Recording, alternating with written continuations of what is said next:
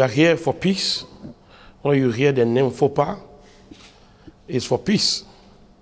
And I stand by greeting, give it down to the Almighty God. At the same time, give it down to the President, His Excellency, the President, for his doing good job for the whole world of Africa.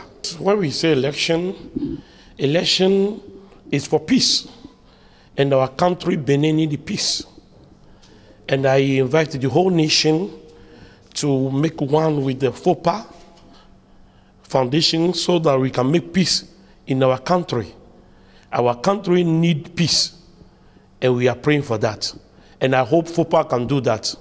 So we should unite with FOPA and do good job.